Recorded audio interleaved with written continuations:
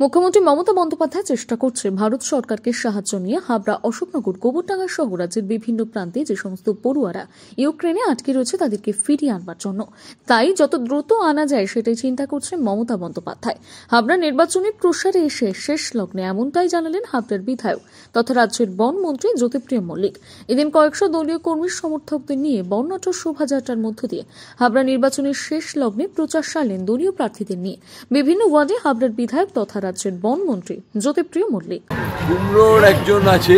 হ্যাঁ হ্যাঁ। আর কুমড়ো গ্রাম মানে হাবড়া অশোকনগরের একজন আছে, অশোকনগরের একজন আছে। আর একজন আছে বেরগুম। বিধানসভার আছে কি ভাবছেন? স্বাভাবিকভাবে মাননীয় মুখ্যমন্ত্রী এই দুটো স্বরাষ্ট্র দপ্তরের মাধ্যমে তিনি যোগাযোগ করেছেন এবং তিনি জানিয়েছেন যে দুটো কিন্তু এদের কীভাবে তাড়াতাড়ি আমাদের অন্তত ভারতবর্ষ নিয়ে এসে পশ্চিমবঙ্গে নিয়ে আসা যায়।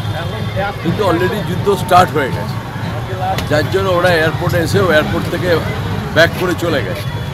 এবং ওদের চেষ্টা করা হচ্ছে যে কোনোভাবেই হোক, মাননীয় মুখ্যমন্ত্রী চেষ্টা করছেন যে কোনোভাবেই হোক, পশ্চিমবঙ্গে যদি কোনো জায়গায় কোনো দিকে ভারত সরকারের কোনো সাহায্য নিয়ে যদি ওদের ভারতবর্ষে আনা যায়, কিন্তু পরিস্থিতি আমি যা জেনেছি, অত্যন্ত জটিল আকার ধারণ করেছে গতকাল থেকে স্বাভাবিক আমরাও খুব উদ্বিগ্ন, বাড়ির লোকেরাও উদ্বিগ্ন। মাননীয় মুখ্যমন্ত্রী উদ্বিগ্ন তার রাজ্যের মানুষরা রয়েছে, ইউক্রেনের রয়েছে।